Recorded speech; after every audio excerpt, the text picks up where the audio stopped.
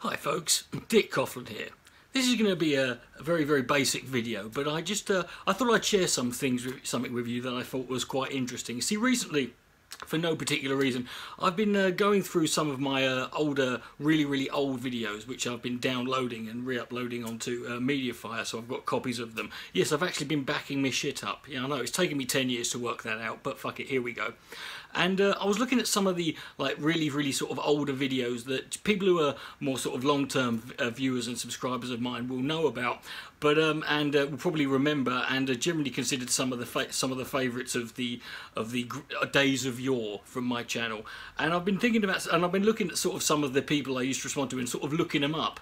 And um, and today and today because uh, this is one that was uh, always very popular, I was looking up a guy called Mike Voritz. Now Mike Voritz uh, you know, is a name that many of you may have heard of already. And even if you're not familiar, um, you know, I made several video responses to Mike Voritz, who originally went under the name Real Catholic TV and later went under the name Church Militant.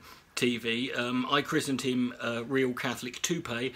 Um, here's an example of here's an example of the videos, uh, some of the videos I made to him anyway. Hello, everyone, and welcome to the Vortex, where lies and falsehoods are trapped and exposed. Lies and falsehoods are trapped and exposed. That's good to hear. I'm glad to hear that's what you're doing, Mike. I think we should. Uh, I'm going to start off the uh, exposing the lies and the falsehoods by mentioning your fucking wig, mate. When you saw him, did anyone not think, Toupee?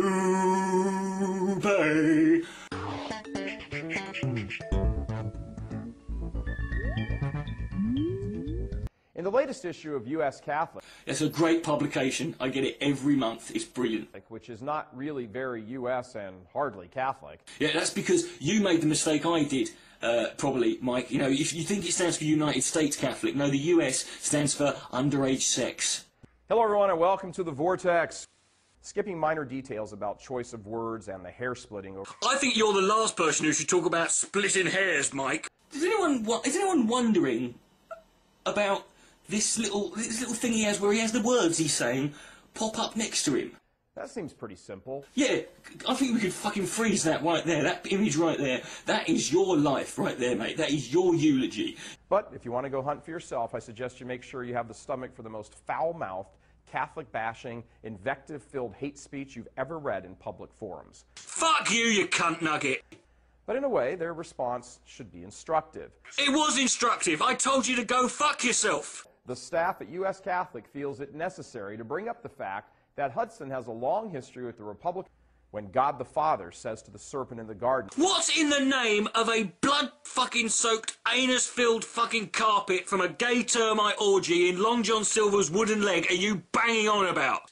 But what they fail to realize in their adulterous, I wish, or chemically addicted, or occasionally money worshipping, or I don't fucking think so, attention crazed, yeah, power hungry, or uh, no, not really, or over the top. I am not over the top, you fucking wanker! Self consciousness, pride filled, or otherwise promiscuous lives. Would you get to the sodding point? Now, in case you're wondering, yes, Mike Voritz is still going strong under his uh, on YouTube and on his website under the name Church Militant TV. Um, what's interesting, and what you know, some of you may not know, is the reason he went from real Catholic TV to Church Militant TV, TV is because the Catholic Church themselves, the diocese, actually fucking you know made you know objected to him, actually had to force him to fucking change because they were not happy with his videos using the term Catholic uh, or real Catholic in their title because they felt that you know the message he was promoting was not one that the uh, Catholic Church wanted to be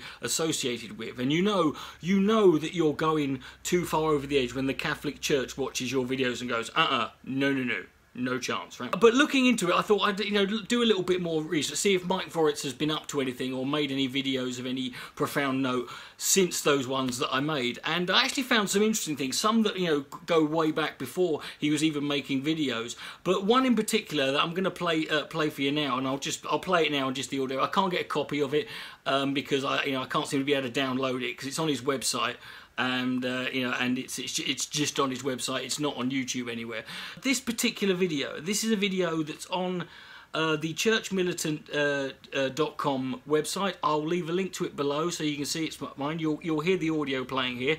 Um, this is a video called uh, Limiting God. Hello, everyone, and welcome to The Vortex. I'm Michael Voris. If you have children around, you may want to view this before letting them do that. I think anybody who allows their kids to watch Mike Voritz's videos outside of having a fucking laugh, you know, the government should immediately take their kids off them. Right? If I think you shouldn't just take their kids off them. I think that you know that you, you their kids shouldn't even be put into care. They should just be taken out to like some you know wilderness area and released into the wild. They'll be much better off. As you probably know, the apostolate has been somewhat silent this week publicly. That's because a situation has developed that I must fill you in on. Yeah, he's going to fill us in all right. It involves the sins of my past life, all committed prior to my reversion to the Catholic faith. Mm, yeah, right, yeah. Very good authority from various sources that the New York Archdiocese is collecting and preparing to quietly filter out details of my past life with the. What? Your past trust me mate no one's trying to filter out any details from your past life. I think you know there's no need now. You could have just kept this quiet and no one would have given a shit. Aim of publicly discrediting me this apostolate. Mike it, it is literally trust me mike it is literally impossible to discredit you right? You are undiscreditable. And the work here. I've never made a secret that my life prior to my reversion was extremely sinful aka fun. I have said many times in public that I was in a state of mortal sin, and had I died, I would have been damned. Mike, you already are damned. And you're not even dead. You don't have to die. You, you live every day as Mike Voritz. I don't know where this phrase comes from, but waking up every day and being Mike Voritz is both your, your crime and your punishment. I also revealed these sins were of a sexual nature and that they occurred over a prolonged period of time. I did not a pro a very prolonged period of time. Reveal the specific nature or details of the Oh, we're going to get specific, Mike. Sins because when I returned home to the church, I did not think that a full public confession of details was necessary. Oh God, God! Imagine me. Imagine confessing your sins. What kind of Catholic would do that? In order to start proclaiming the great mercy of God. Perhaps that was a wrong assessment. I don't seriously know. Perhaps along these years, I should have been revealing all of that in greater detail. Yeah, I don't know. I mean, if you weren't ashamed of it, well, if you converted, it shouldn't be a problem, should it? Eh? Mm. That. Unless, of course, it's something quite quite bad. I now think so, but more on that in a moment. Mm-hmm. Whatever the matter, I will now reveal that for most of my years in my 30s, confused about my own sexuality, I lived a life of live in relationships with homosexual men live in relationships with homosexual men. You mean you're gay, Mike? You were a homosexual man. In fact, if you were then, you still are now. You know, confusion is one thing, Mike, but for most of your 30s, and you, you claim your Catholic reversion was in 2004 when your mum died, but you'd have been in your 40s then.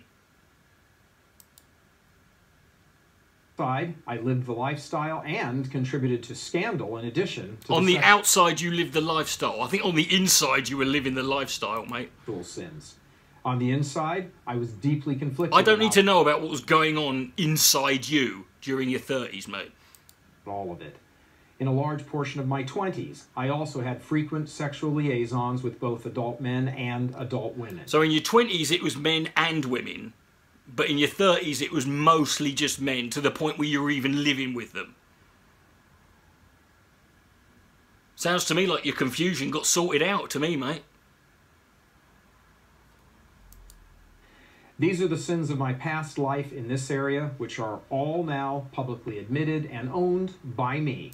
Oh, yeah, owned indeed. listen, listen, Mike, I'm going to tell you this now you know, and I know that you know my word, my, what I think is of no interest to you, but believe me, of all the things in your life that you have to fucking apologize for, right? Getting bummed by another man, 69ing dicks with a bunch of dudes, and having and enjoying every minute of it is the least